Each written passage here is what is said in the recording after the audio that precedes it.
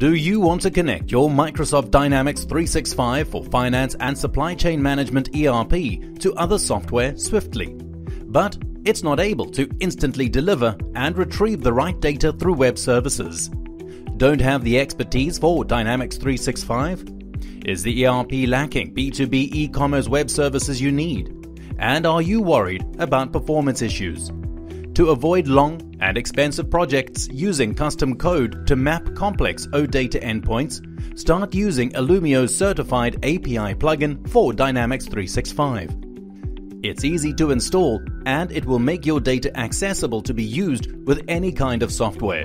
So why should you use Alumio's API plugin for Microsoft Dynamics 365?